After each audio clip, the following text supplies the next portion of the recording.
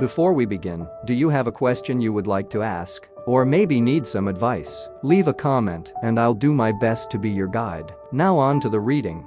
Embrace the encouragement from the respect you receive from colleagues dear Pisces, as the Sagittarius moon forms a helpful connection with Chiron. Use this positive energy to validate yourself, recognizing and appreciating the qualities that make you strong, capable, and valued in your professional endeavors. Later today, as the new moon rises, seize the opportunity to set intentions related to your career or status goals. Focus on your aspirations and the steps you can take to achieve them, utilizing the optimistic and forward-looking energy of the new moon. As the evening progresses, Luna and Neptune square off, signaling a need to give your mind a rest. Consider setting boundaries with your phone or any demanding companions, allowing yourself the space for relaxation and rejuvenation. Mercury stations direct as the day comes to a close, potentially bringing some drama to your social sphere. Stay mindful of your interactions and communication, and navigate any challenges with grace and diplomacy.